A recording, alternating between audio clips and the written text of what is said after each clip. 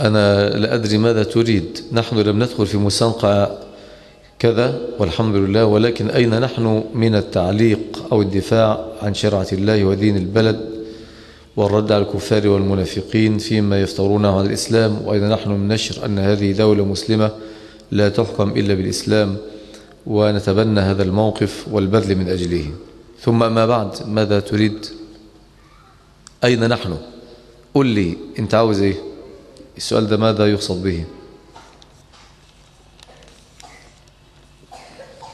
ماذا يقصد بذلك السؤال يا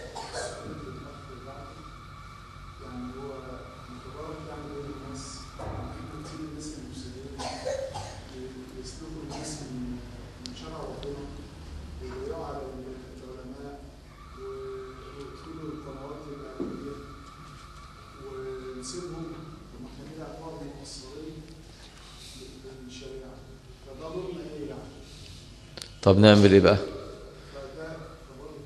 طب إحنا يعني إيه البدائل؟ قول لي بدي يعني اعمل لي كده اختيار متعدد. قول لي واحد اتنين تلاتة وخلينا أختار واحد. نعمل إيه ولا إيه ولا إيه ولا إيه؟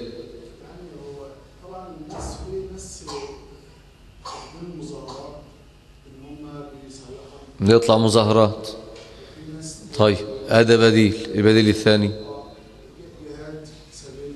جهاد جهاد إيه ده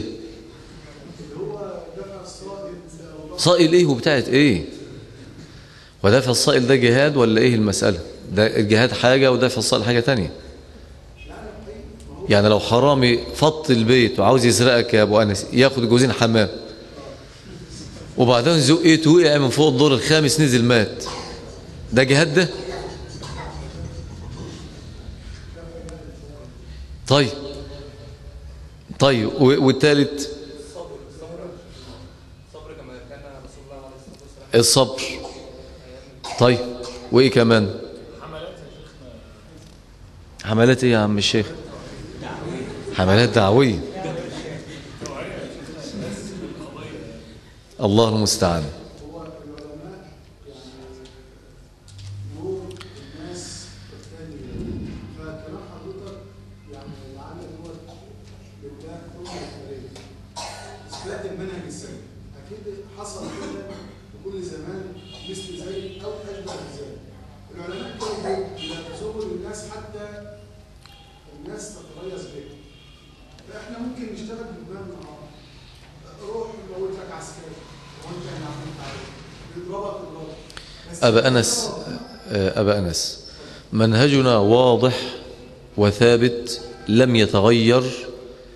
ولم ينحرف مع الأنواء والعواصف التي يعني ترنحت يعني الجبال بسببها إحنا موقفنا ثابت. منهجنا في كلمتين اتنين بس الإصلاح والنصيحة. وهذا الكلام قلته كثيرا. الإصلاح والنصيحة. الإصلاح في العقيدة وفي الفهم وفي الأخلاق وفي العمل. أي انحراف في الاعتقاد أو الفهم أو الأخلاق أو العمل أي انحراف. ولو صغير نعمل إيه؟ ننصح. هذا منهجنا. وهذا منهج الأنبياء. ولك أن تقرأ القرآن كله من ألفيه إلى يائه من أوله لمنتهاه سيوقفك ربك عز وجل على هذا المنهج دون زيادة أو نقصان. وبالتالي نحن من أجل ذلك المنهج تأصيلا وتنظيرا ودعوة وتثبيتا ونشرا ونصرا نفعل ذلك حسبة لله. لا نريد جزاء ولا شكورا لا منصبا ولا جاها ولا شرفا ولا ثناء ولا شيء من أحد. هذا منهجنا. وهذا المنهج لم نبنه من لبنات أفكارنا ومن أجزاء آرائنا وإنما هو مأخوذ من منهج الأنبياء. ده منهج الأنبياء وهو منهج النبي صلى الله عليه وسلم. بس فقط. أو هذا الأمر سيحتاج إلى أجيال وأجيال. وقلت كثيرا بأن ما نحن فيه الآن من تخلف وانكسار وهوان وذل وضعف وفقر ومرض هذا الأمر ليس حصيلة حكم فلان أو علان ولكن هذه محصلة قرون مضت منذ عهد المماليك إلى الآن. مرورا بعهد العثمانيين وعهد الدولة الخديوية ثم بعد ذلك بعهد الدولة الناصرية ثم بعهد الدولة الساداتية ثم المباركية ثم ما نحن فيه. ده عهود ما يقرب من 350 سنة أو 400 سنة. إذا نحن الحصاد المر لمئات السنين من التخبط والتخلف والجهل والرجعية والتقليد والتعصب الأعمى.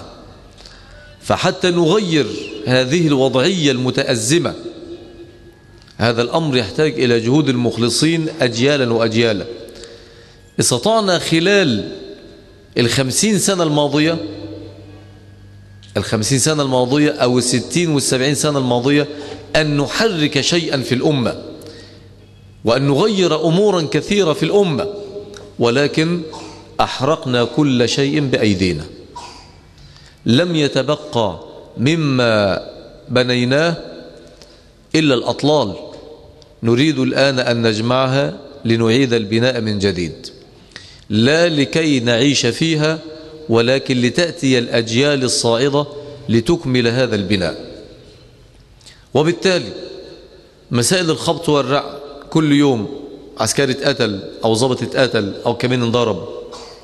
واللي يعملوا الكلام ده يدوروا الجري يخبط خبطة ويجري. الله ده جهاد في سبيل الله؟ أين الجهاد في سبيل الله؟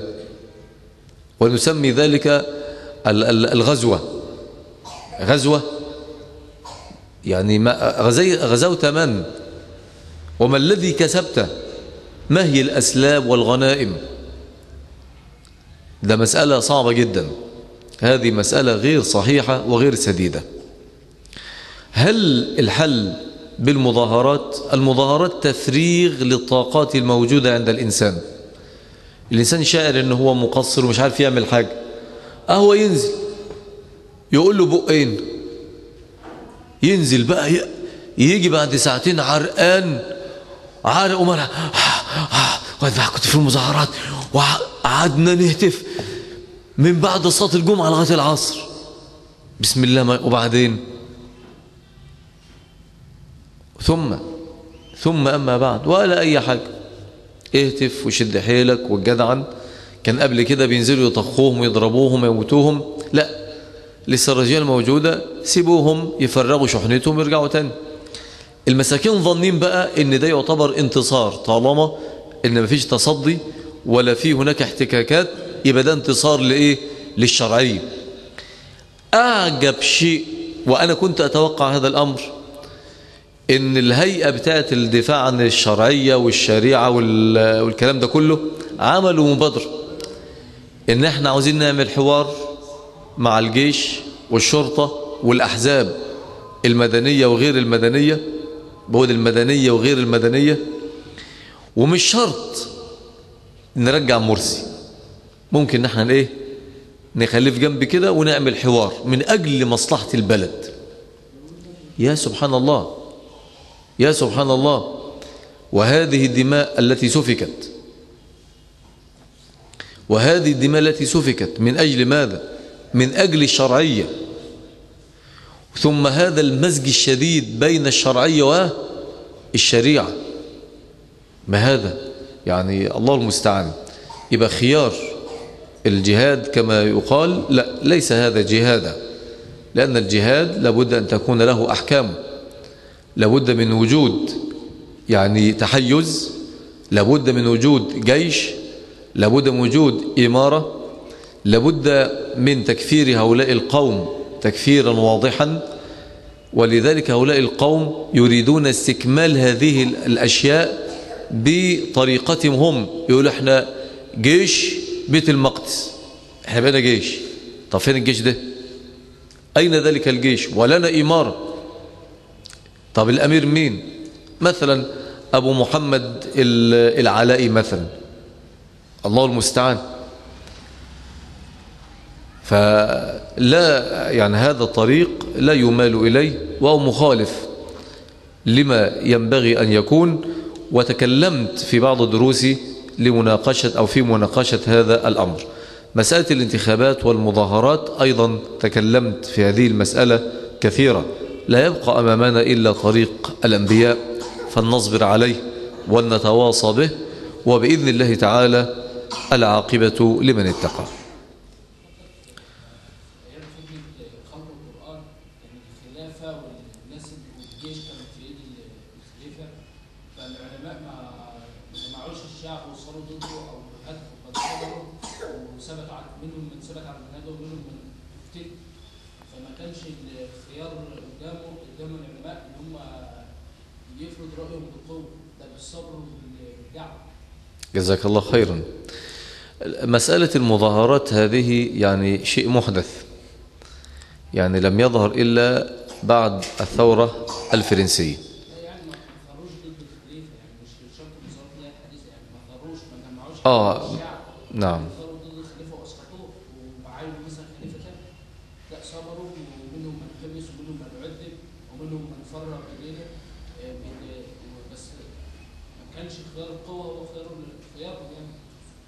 أحسنت هذا كلام جيد.